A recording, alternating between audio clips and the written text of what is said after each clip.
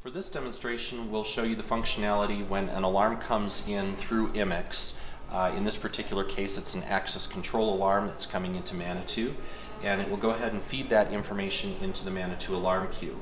We can go ahead and bring the alarm up on the Manitou side, where we see the customer information, the alarm information, and then over on the right-hand side of the screen, we have a flashing icon letting us know that there's video available for this event.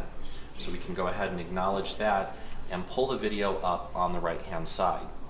Now the video will show you again the event clip, uh, a recorded clip on the left side of the screen with the live video view on the right hand side of the screen.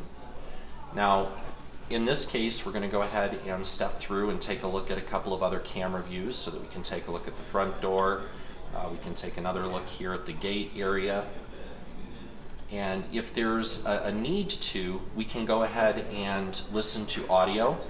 We can even go in here and hit talk to talk down uh, to the location. And we can even trigger relays here to go ahead and open up the gate and let that individual in. So all of that processing can take place through the Immix side uh, of the software.